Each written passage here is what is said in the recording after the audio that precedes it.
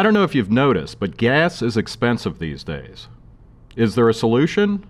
Well, for years, politicians have been telling us that ethanol is a renewable energy source that will reduce pollution and our reliance on foreign oil. I am for sugarcane, biofuels, switchgrass, and corn based uh, uh, ethanol because of our need for independence on foreign oil. We will send our energy dollars to the Midwest, not the Middle East. But an increasing number of people are skeptical about using ethanol for fuel.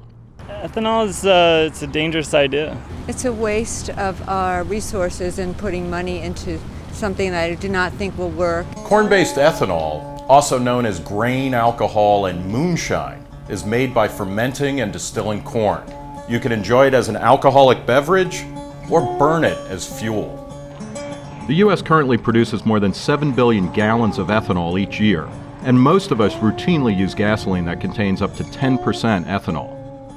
We talked to Ron Bailey, the science correspondent for Reason Magazine, to learn more about the ethanol fuel craze. The ethanol mandates came about as an outgrowth of an effort to lower air pollution from gasoline. It became part of the environmental community uh, response to global warming. Fueled by support from environmentalists and the corn lobby, politicians have showered the ethanol industry with subsidies. Ethanol subsidies right now, uh, the main one is what they call the blender's credit. It's 51 cents per gallon. The corn farmers also get an additional subsidy for just growing corn. Well, the other thing is, is that we certainly wouldn't want cheap ethanol being imported from somewhere else, undercutting our corn farmers. So we have a 54 cent per gallon tariff against uh, uh, ethanol imported from other countries. If you add up all the subsidies that go to ethanol, it's probably in the area of about $8 billion.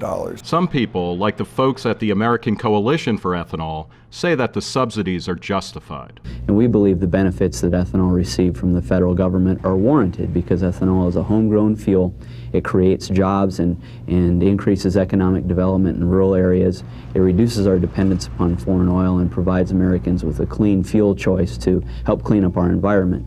Uh, actually, the question of whether or not ethanol produces less pollution than gasoline is a very open question. If you add up all the costs, for example, the energy that goes into making fertilizer, if you add up the energy that goes into plowing the field, if you add up the energy that is used to produce the ethanol, if you add all that up, it's, if the net energy balance is not very good. In fact, a lot of researchers believe that, in fact, you're putting more energy into producing ethanol than you get out of it when you burn it. Okay, but at the very least, ethanol reduces greenhouse gas emissions, right?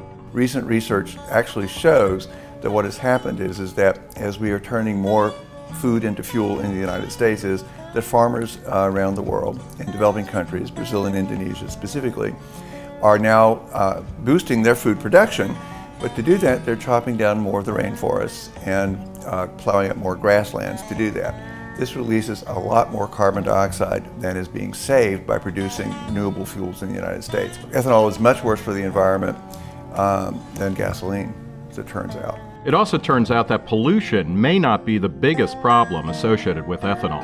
We're in the midst of a world food crisis. Uh, food has not been this expensive for over three decades, and this is pushing several million people to the edge of starvation. And part of the problem is that we are turning food into fuel.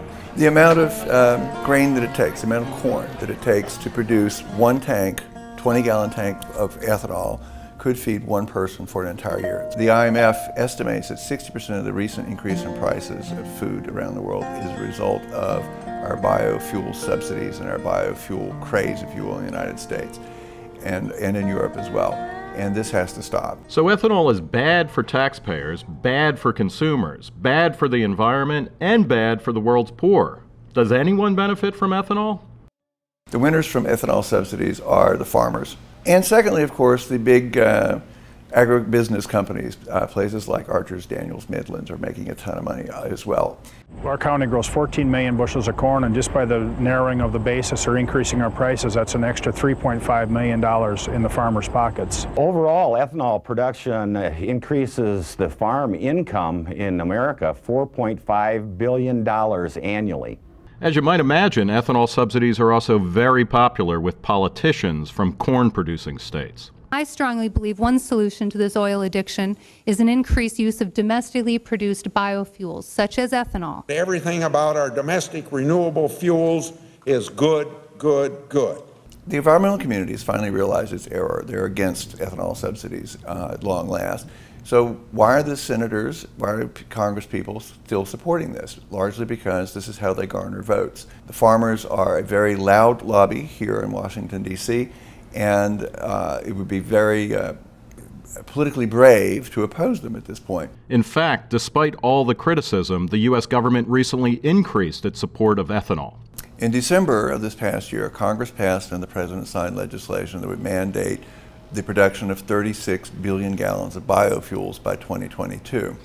Now, what does that net out to? In order to produce that, under current conditions, that would basically equal uh, turning the entire American corn crop into ethanol.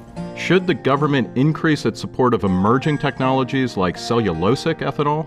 Now, a lot of people who are in favor of biofuels are saying, well, yes, you're right, Ron, we should not be making corn ethanol. But what we really should be focusing on is what they call cellulosic ethanol. And what they mean by that is to use, if you will, plant material, not grain. And uh, that it probably is a little bit better, but it still doesn't get rid of the problem. You have to devote cropland to producing these uh, biofuels. And that will mean, again, higher food prices. A viable renewable energy source would be great for everyone. Don't subsidies create an incentive for biofuel researchers to innovate? Look, oil prices are the highest that they've ever been. Uh, if renewable fuels, biofuels, were such a good deal, they would already be emerging without government subsidies and without government help. These subsidies are actually telling us is that they're not a good deal, that we should be devoting our resources to finding other uh, alternative uh, sources of fuel rather than turning food into fuel. Here's to an end to ethanol subsidies. For Reason TV, I'm Nick Gillespie.